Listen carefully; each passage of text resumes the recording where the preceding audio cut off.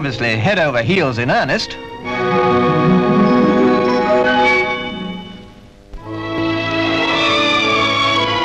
Sunshine in Piccadilly, prelude to a fashionable wedding. Relatives and friends arriving at the church. They came to witness the marriage of the man whose name was once romantically linked with that of a Swedish princess, Mr. Robin Douglas-Home. The bride, model Sandra Paul, today wearing her own wedding gown. The wedding was in St. James's, which was badly bombed in the war.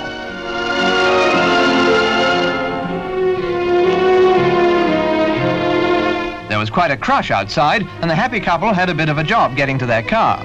Cameraman also had a bit of a job, but they coped, of course. The best of good wishes to Mr. and Mrs. Robin Douglas-Home.